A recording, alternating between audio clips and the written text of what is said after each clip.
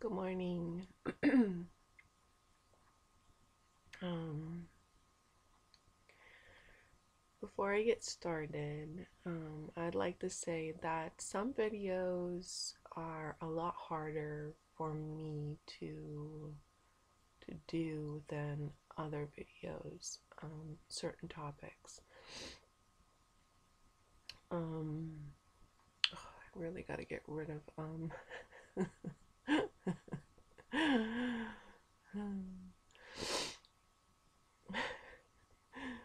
so yeah, giggle. I quite often, and this is truth, more often than not, I lose sleep at night. Uh, ever since I became born again and have become aware of the times that we're living in and come into the truth, I I don't have very many um, nights where I just I'm able to fall asleep and um, and rest well because even though I give um, I ask Lord Jesus Christ to please take um, certain burdens from me. I still have them, um, some of them in my heart, uh, because I care very much about other people and I don't want to see anyone suffer um, or anything bad to happen to anyone. Um, and it's hard because um, a part of me knows that you know I have a hundred percent faith and trust in the Lord Jesus Christ that He knows what He's doing, and then part of me wants to um, continue to do my part, even though things are going to play out the way they're going to, and that's disheartening sometimes to know that. you know, all of this is predestined and is going to happen accordingly no matter what my efforts may be. Um, although I believe in miracles, and I believe that if we keep praying for mercy for others, that, you know, there's a possibility that um, there are some things that can change. Otherwise, I don't know what's the point. so, the scriptures I'm going to read this morning, I've read at least five or six times, or I've referred to uh, the parable of the ten virgins five or six times.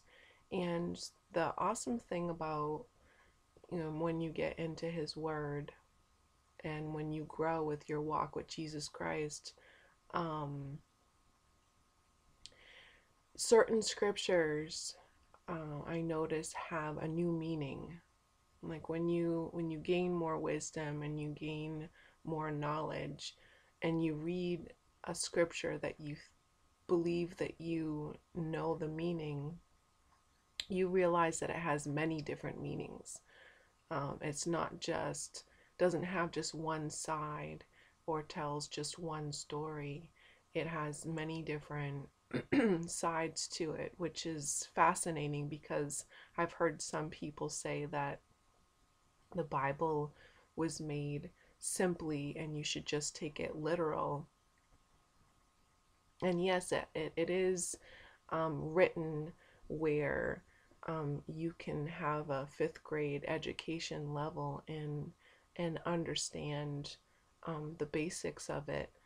But as you grow, when you have His Holy Spirit and you're guided by His Holy Spirit, as you grow in your walk, the words, it's as if the words grow with you, if that makes sense. So I'm going to read um, the parable of the ten virgins and then, um, you know, speak on it. Sorry, I'm just tired still. Not much sleep. Uh, so, Matthew chapter 25, verses 1 through 12. Then shall the kingdom of heaven be likened unto virgins, which took their lamps and went forth to meet the bridegroom. And five of them were wise, and five were foolish. They that were foolish took their lamps, and took no oil with them, but the wise took oil in their vessels with their lamp. While the bridegroom tarried, they all slumbered and slept. And at midnight there was a cry made, Behold, the bridegroom cometh, but ye, I'm sorry, go ye out to meet him. Then all those virgins arose, trimmed their lamps, and the foolish said unto the wise, Give us of your oil, for our lamps are gone out. But the wise answered, saying, Not so, lest there be not enough for us and you, but go ye, rather to them that sell and buy for yourselves. And while they went to buy the buy, the bridegroom came.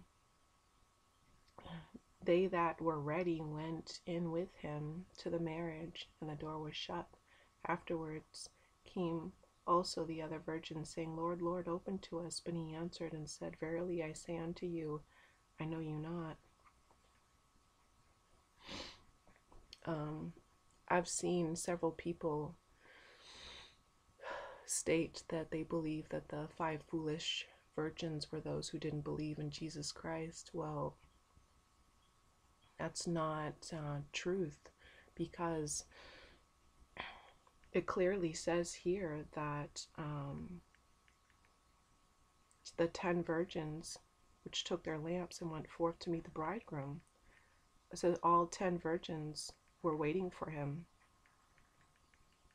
So there, the five foolish knew of Jesus Christ and was waiting for him as well. So it's not, this parable is not about um, unbelievers. It's not about those who were not waiting for the bridegroom. It, it, they were ones who believed in Jesus Christ but didn't have enough oil in their lamps. Now, what is enough oil? Well, the oil in your lamp is Jesus Christ. Your lamp is is you.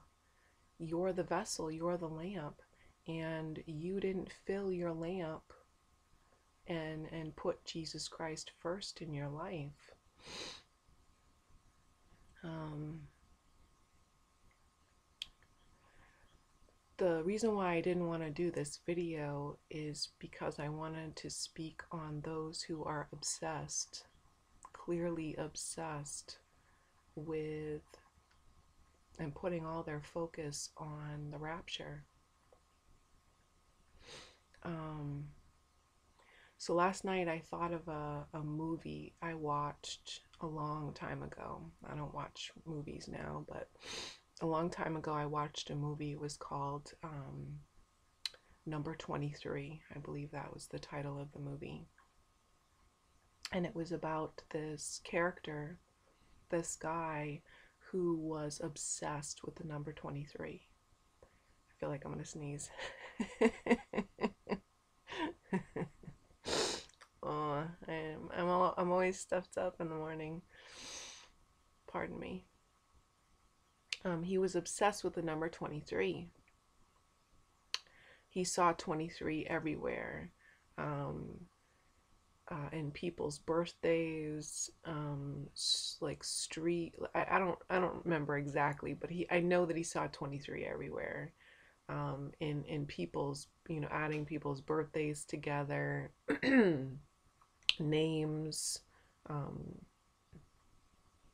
he just was obsessed that he saw 23 everywhere, and it was driving him mad. I feel like those who are um, speaking about the rapture kind of runs along the same line as that movie that they are obsessed with watching videos about the rapture and listening to different people's opinions, listening to people's dreams, listening to people's visions, listening to people's theories, that they're filling their lamp with rapture, but they don't actually understand that that's taking their attention away from the Lord Jesus Christ. I know that doesn't make sense that, well, how can that be? Because I'm waiting for the Lord Jesus Christ. But if you're obsessed with his coming and and and listening to other people and listening to their theories and their opinions and chasing after numbers you're not building your relationship with the Lord Jesus Christ. Just think about it this way how many minutes or hours in a day are you thinking about the rapture, the rapture itself? How many hours have you put in watching other people's videos? Um, or even making videos of your own because I all I see is this madness, this rapture madness of chasing after the when is Jesus going to be here versus how many hours have the these same people spent reading the Lord God's word, reading the Bible. It's I don't I I don't believe that any of them are actually spending quality time reading the Bible. They just want to know when he's going to be here and the sad part is, I, I see that they're not even ready. They're so obsessed with the rapture and his coming, but they're not even ready. They don't even know that they're not even ready. But I I see it by listening to them and watching them as a watchman and witnessing and seeing the their fruit the thing is is they they don't have any spiritual growth meaning they didn't fill up their lamps with oil. There's no spiritual growth. There's no knowledge of the lord jesus christ because they're not reading his word. Hosea 4 6 says that my children perish because of the lack of knowledge. They perish because they were spending all their time and effort on one thing. I'm just focused on, I want to know when he's going to be here. What's the point of knowing when if you're not even ready to go? I think that it's amazing that our Father, so loving and is willing to, he's long suffering and willing to hold off another day for one more of his lambs to be sealed and saved. He's he's he's very he's long suffering. While he's suffering, waiting for you to be actually ready, you're still obsessed with when is he going to be here? When is he going to be here? When is he going to fulfill his promise? He will fulfill his promise. The thing is, you're not ready. You're the foolish virgin that's chasing after, you know, like in that movie, chasing after the number 23, obsessed with the number 23, or, or oh, you're just focused on the number 23. It's like rapture, rapture. All I want to know, I, I, I just want to fill up my day up with focused on videos all day long of watching videos about other people's opinions, which Isaiah 222, you're not supposed to listen to man.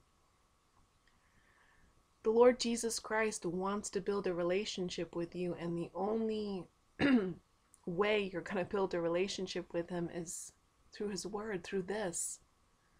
So I'm not saying to not always look up and wait for the Lord Jesus Christ to be here. I'm not saying don't do that. I'm saying don't be a foolish virgin. Be wise and s- spend your time wisely getting into His Word and reading the Bible because it's not just about believing in the blood of Jesus. It really isn't. It's about coming out of the world, it's about stop sinning, and it's about putting Jesus Christ first in your life, reading His Word, and getting to know Him.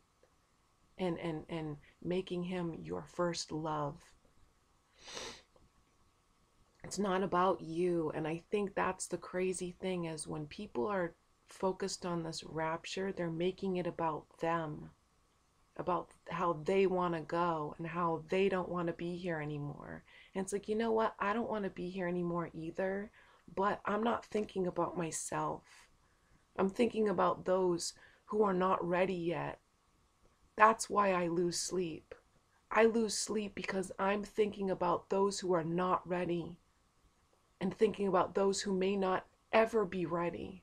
That's what I'm thinking about because I can't see myself being happy in heaven if I know that there are people here still suffering. I'm not thinking about myself. And I feel like those who are chasing after the rapture, you're thinking about your wants and your desires. And that's idolizing yourself. And the Lord Jesus Christ is not like idols. He wants servants who are loving, who care about their brothers and sisters as much as they care about themselves. I've even heard a sister say to others, she said this very boldly. She said, you know, those that aren't looking for the rapture, those are the ones that they just don't love the fa- the the Father as much as I do. And that's that that hurt that hurt. She made a statement that we don't love the Lord Jesus Christ as much as her because we're not looking for a rapture date.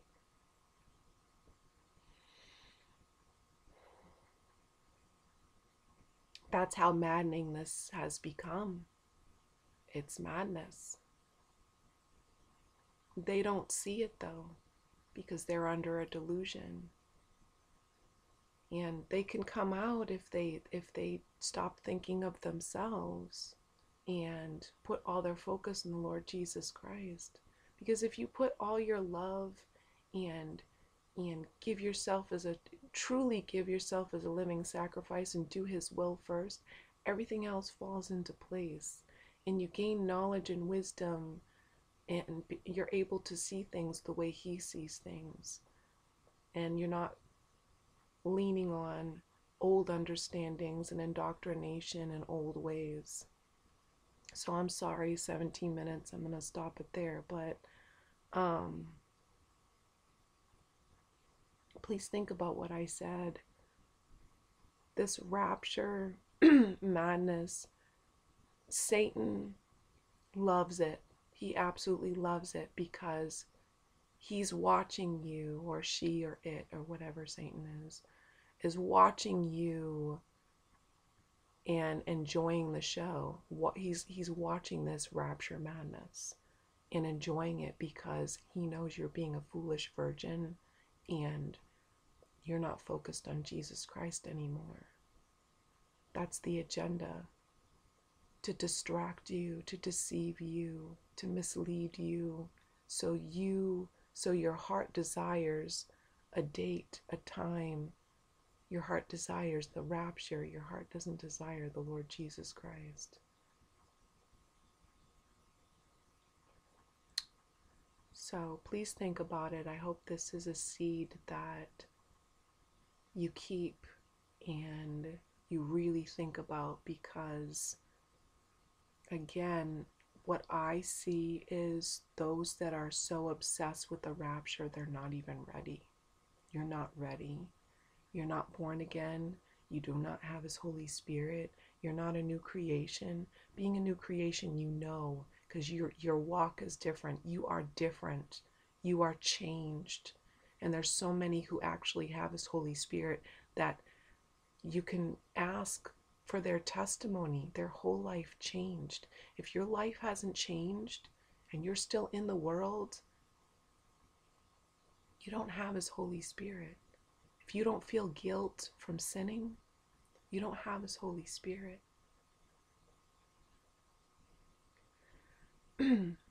you have this t- you have this moment you have this day to get yourself right. Our father loves you so much that he's he's given you now to seek him first and to actually be ready.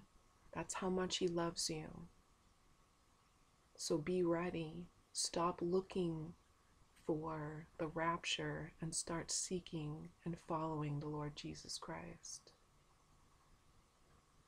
I love you and God.